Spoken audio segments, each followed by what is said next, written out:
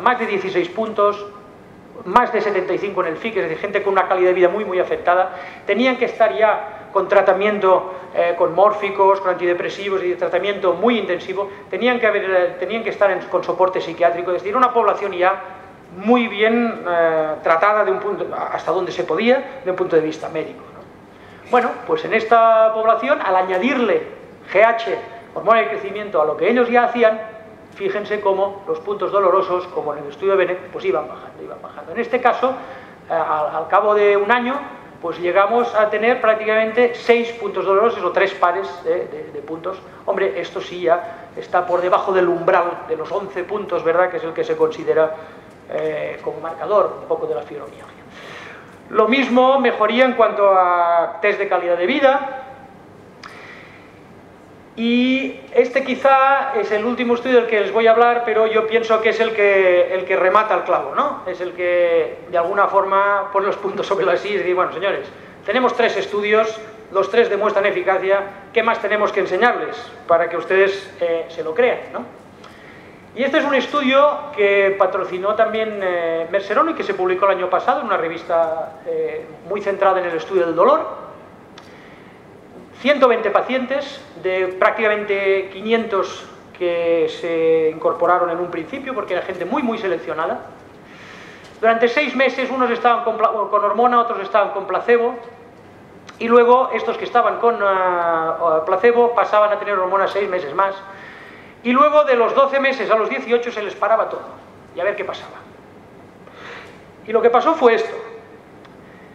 Eh, al principio todo el mundo mejora. Hombre, al paciente lo mimas mucho, lo ves mucho en la consulta, cada 15 días, vas haciendo pruebas. Bueno, el paciente se siente mucho más cuidado. Probablemente en el grupo placebo hay un cierto efecto de placebo y entonces hay una cierta mejoría inicial. Pero esta mejoría en el placebo se acaba. Mientras que en el paciente que está con hormona de crecimiento, y no lo sabe, ¿eh? porque es un estudio ciego que decimos, fíjense cómo eh, el dolor en la escala analógica va, bajando, va bajando, va bajando de una forma muy diferente del que está en placebo. Cuando le paramos el tratamiento, ¿qué ocurre? Pues más tarde o más temprano vuelve a donde estaba y al cabo de los seis meses vuelve a estar igual de mal que estaba prácticamente Puntuación del FIC del cuestionario de impacto de la fibromialgia, pues es una curva muy parecida. Los que están con hormona de crecimiento mejoran muchísimo, sobre todo cuando el tratamiento es largo, es prolongado, a 12 meses, y cuando se para este tratamiento se retorna, se, vuelve al punto inicial prácticamente donde no hay tanta mejoría. Por lo tanto, dolor, por lo tanto, fatiga, por lo tanto, cuestiones de calidad de vida.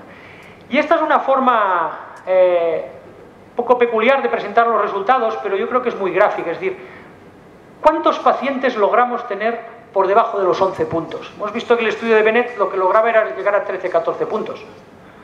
Eh, ¿Cuántos logramos bajar de 11? Que podremos decir, hombre, este hombre o esta mujer va a tener una calidad de vida buena, va a tener un dolor soportable. Pues bueno, estamos en un 50%. Yo creo que esto es un marcador de eficacia bastante claro. Cuando vemos los estudios de pregabalina, de la lírica, cuando vemos estudios de minacipram, cuando vemos estudios con amitriptilina, todos estos fármacos que todos ustedes han probado muchísimas veces, ninguno de ellos supera el 20-30% de eficacia a largo plazo. Con la hormona de crecimiento, en una población muy seleccionada, insisto, que tiene esa falta de hormona de crecimiento, estamos llegando a este 50%. Bueno, es poco, es mucho, ¿eh? Ahí, cuando hagamos el debate, lo podemos discutir. Eh, hemos visto antes al Messi, pero es una sustancia segura realmente, más allá de que una figura lo utilice o no lo utilice. Pues bueno, a nivel de, los estudios y en, el, nuestro en particular, pues la, incidencia de efectos secundarios fue bajita. Es frecuente encontrarte hormigueo en las manos, lo que llamamos el túnel carpiano. Es eh, relativamente frecuente, alrededor de un 7% de los casos, también encontrarte que los tobillos se hinchan un poco, hay una cierta retención hídrica de agua en, los tobillos, puede haber dolores de cabeza en un 5% de los casos, es decir, sí pueden haber efectos secundarios, pero son efectos secundarios razonables. Cuando hablamos de una fibromialgia que tienes 18 puntos dolorosos, el tener dolor de cabeza o no, eh, pues ya no viene de aquí, ¿no? Bueno, por lo tanto parece que tenemos evidencias suficientes, tenemos datos de que en la fibromialgia hay un porcentaje de gente que no tiene hormona de crecimiento. Parece que eh, cuando tú la das, ya sea el estudio americano o los estudios nuestros aquí en España, eh, los efectos beneficiosos son claros. Lo que no sabemos respondernos todavía es por qué funciona. ¿eh? Y ahí es donde yo voy a dar mi pincelada con lo de los síndromes de sensibilización central. Porque uno me dirá, hombre, pues no, funcionan porque pues, funciona a nivel del músculo y todo el mundo sabe que la hormona de crecimiento, y para eso la utilizaban mal utilizada en los gimnasios en su momento, pues lo que hace es, pues en plan culturista, que te aumente la masa muscular y por lo tanto, pues por eso te encuentras menos cansado. Bueno, no creo que sea esa la explicación. Aunque es verdad que a nivel del músculo es interesante, por ejemplo, remarcar que el propio músculo es capaz de fabricar esta sustancia, la famosa, esta IGF que, os decía antes, que se llama MGF, muscular, ¿eh? factor de crecimiento muscular. Eh, por lo tanto, el músculo, hombre, eh, sí que será un actor aquí importante cuando tengamos que demostrar dónde realmente es eficaz la hormona de crecimiento en estos pacientes. Pero donde yo creo que está la, la explicación es a nivel del sistema nervioso central. Y entre otras cosas por una cuestión de, proximidad, de continuidad. Fijaros que os decía que la hipófisis está aquí colgando, que cuando le dábamos un golpe aquí a la nuca esto, esto balanceaba y se podía romper.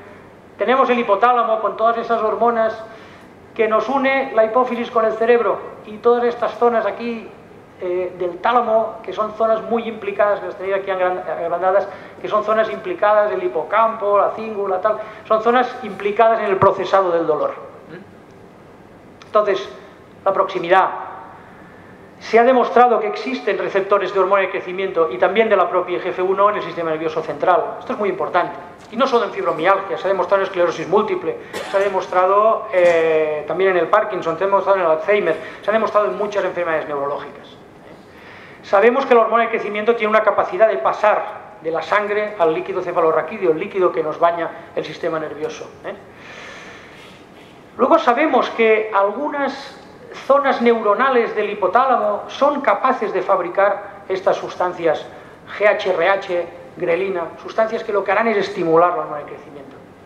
También sabemos, y de hace ya bastantes años, que una, parte del, cerebro implicada en la modulación del dolor, en emitir la señal dolorosa, como es el hipocampo, pues depende para emitir de esa señal de la hormona de crecimiento, la IGF-1. Es decir, empezamos a tener datos de que esta hormona de crecimiento, a nivel del sistema nervioso central, algo está haciendo. El músculo, por un lado, el sistema nervioso central, por otro, esto es un poco complicado de, entender, pero simplemente apuntaros, por ejemplo, que cuando a una paciente se le da pues, eh, un, opiáceo, ¿eh? un tramadol, un zaldiar, un, ¿eh? un opiáceo, en realidad los opiáceos, ¿qué están haciendo? Pues lo que están actuando es en los niveles de hormona de crecimiento.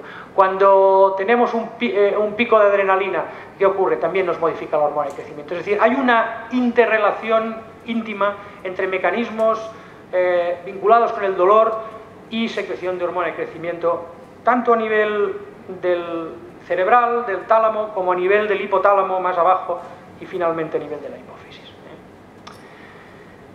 Y ya para acabar, eh, una tercera hipótesis del por qué la hormona de crecimiento funciona es porque sea capaz de modificar determinadas citoquinas, determinadas moléculas que son de tipo inflamatorio. Existe esta hipótesis también en la fibromialgia de que es una enfermedad con un componente inflamatorio. Bien, sabemos que cuando se trata con hormona de crecimiento bajan los niveles en sangre de estas interleuquinas, ¿eh? la 1, la 6, la 8, en fin. Y no solo eso, sino que ya no en la sangre, sino en el líquido cefalorraquídeo, dentro del cerebro, tenemos, cuando estamos dando hormona de crecimiento, disminuciones en neuropeptio Y, en esta metaloproteasa de aquí, en, los niveles de sustancia P. Es decir, de alguna forma, lo que planteamos, aunque esto es solo una hipótesis, y hay que demostrarlo, es que la hormona de crecimiento haría su efecto en el músculo, haría su efecto en el cerebro, en diferentes zonas, y haría su efecto probablemente también a nivel antiinflamatorio. ¿eh? Pero estos son los campos de investigación en los que tenemos que volcarnos eh, en los próximos años. Bueno, ¿con qué idea tenéis que quedaros? A ver. A ver si esto vuelve para atrás.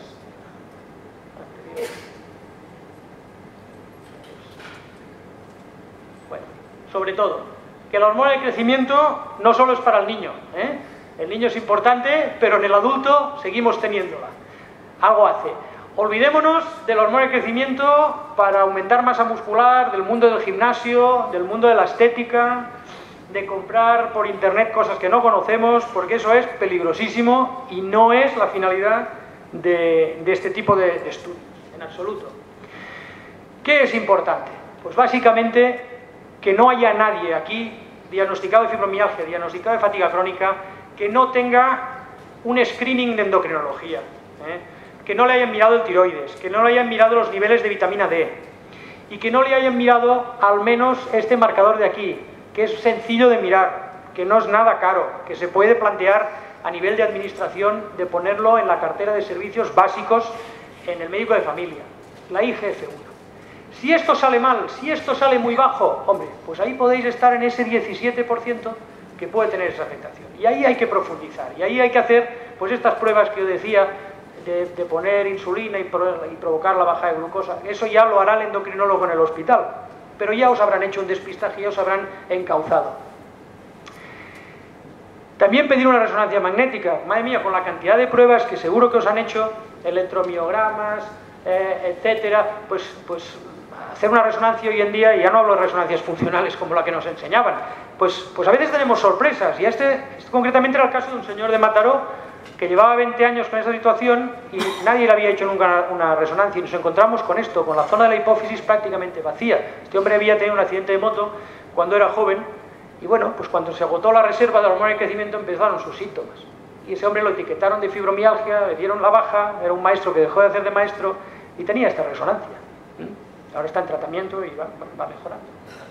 Por lo tanto, que se os mire, que se os miren parámetros de tipo endocrinológico importante tiroides, hormona de crecimiento, cortisol y vitamina D, estas cuatro. Y luego si salen bajas, pues bueno, ya os explicará endocrino opciones de tratamiento, cómo tratar. El tratamiento no es rápido, no es efectivo a muy corto plazo, hay que tener paciencia, hay que esperar probablemente al primer año para ver una eficacia que el paciente sienta. Podemos estar en ese 50% que no nos mejore de una forma muy clara, pero podemos estar en el 50% que sí haya una mejoría importante. Y nada más, agradecer de nuevo a Fibrom y, a Maite Ramos particularmente pues, pues el haberme invitado. Muchísimas gracias. Gracias.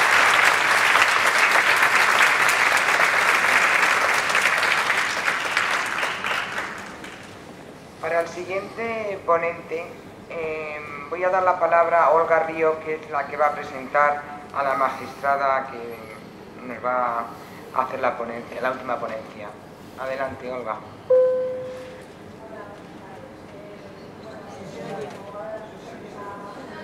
Dale, dale, dale.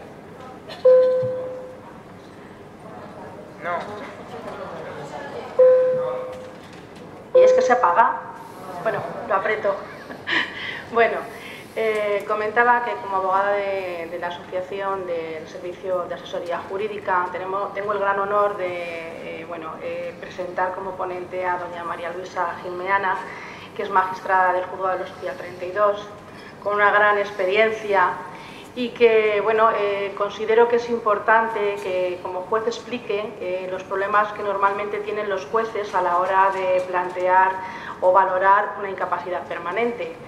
Vosotros sabéis todos que como consecuencia de la sintomatología de la enfermedad hay muchas eh, personas que pierden sus trabajos y que además eh, no son capaces de reincorporarse a una vida laboral activa.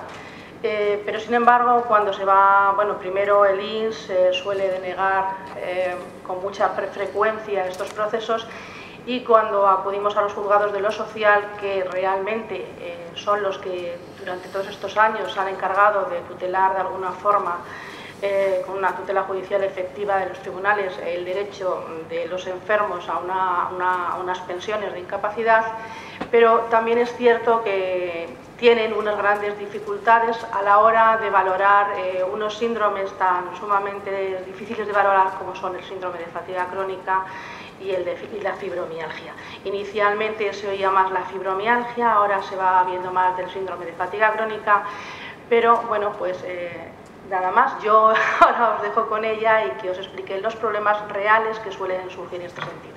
Muchas gracias.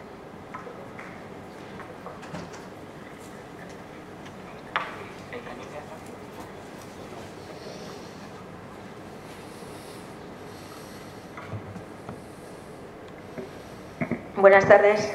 Se oye bien, ¿verdad? Bueno, como habrán podido ver por el título de la, de la ponencia, vamos a hablar de los problemas que tienen, no realmente los magistrados, realmente quienes tienen los problemas, eh, las personas que acuden a los juzgados de lo social solicitando unas prestaciones de la seguridad social por incapacidad. Los problemas que tienen para demostrarle al magistrado, mm, para probar Mm, varias cosas que vamos a ver ahora. Tienen ustedes que pensar, y esto sí que me gustaría que quedara muy claro, que mm, cuando uno acude a un órgano judicial, sea el que sea, aquí estamos hablando hoy de juzgados de lo social y estamos hablando de enfermedades como la fibromialgia y de incapacidades. Pero siempre que se acude a un órgano judicial y se está solicitando algo, no solamente, digo que esto quiero que quede muy claro, no solamente la persona tiene que tener razón, tiene que demostrárselo al magistrado, tiene que probarlo. Eso es fundamental. Yo entiendo que la persona que en este caso tenga fibromialgia, que está viviendo las dificultades de afrontar el día a día, que tiene dolores, le resulta tan evidente la situación por la que está pasando que mm, a veces le resulta incomprensible como si es algo tan evidente para ella, como no le ha resultado evidente al magistrado también y le deniega en la sentencia esa pensión, esa incapacidad que está solicitando. Tengan ustedes en cuenta que los magistrados no podemos hacer actos de fe. Para que podamos dar la razón a una persona en una sentencia, para que podamos, en este caso, declarar que tiene una incapacidad y que por lo tanto le va a corresponder, luego hablaremos de ello, o una indemnización o una pensión de por vida, es necesario no que tengamos la corazonada de que lo que nos están diciendo es verdad, sino que efectivamente tengamos una prueba donde nos podamos basar para darle la razón a esa persona. Por eso digo que es fundamental ir bien preparados con una prueba que pueda convencer al magistrado. ¿Qué es lo que vamos a tener que probar? Pues dependerá de los casos. A veces lo que hay que acreditarle al magistrado es de entrada que esa enfermedad existe que la persona que viene a solicitar la incapacidad efectivamente tiene fibromialgia o tiene el síndrome de fatiga crónica, cualquier otro tipo de enfermedad. Digo porque estamos centrados esta tarde en estas enfermedades. Mm, ¿Por qué digo que a veces hay que probárselo a los magistrados? Porque cuando acudimos a un juzgado solicitando una incapacidad, es porque ya tendremos una resolución de la Seguridad Social, del Instituto Nacional de la Seguridad Social, denegándonos esa prestación. ¿Qué habrá hecho esta persona? Presentar un escrito que le llamamos reclamación previa antes de llegar al juzgado, a ver si... Mm,